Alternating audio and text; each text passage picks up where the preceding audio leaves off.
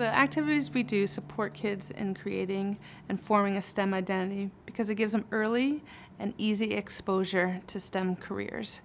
A lot of times kids are introduced to a scientist, and that's a wonderful way to connect children to a STEM career, but sometimes they don't identify with that one person. Either that person doesn't look like them or that's not a career that interests them. So our activities are designed to be small ways to get kids thinking about STEM more consistently. What is science? It's when people study like various things, like they could study nature, or they could study architecture. They could try to find facts about that and gather as much information as they can. I think science is kind of it's kind of a way to learn more about things. You could go out and make observations about nature, or you could go study chemistry. Well, I think in terms of developing a STEM identity, we've all learned that children make their minds up about who they are and what they're going to be. Much of that's decided by the time they enter fifth grade.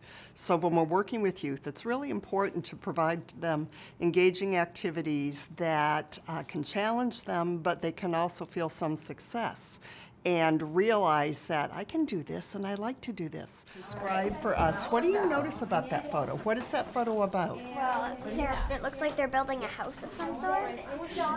They're like building support beams or something under it, like if it's located near the ocean. But the idea of the photo elicitation activity is just to get them thinking about where STEM occurs, what STEM looks like in a daily activity, and then to realize that STEM changes, STEM careers have changed, science and technology have evolved, and it certainly is not done. Kids still have the opportunity to influence ideas and still have the opportunity to change and uh, improve. I am curious to know if you look at your pictures, can you find something related to engineering? There's a whole variety of questions you can ask, but really you want to know your crowd and just get them to start talking about the picture and how it relates to science, technology, engineering, and math.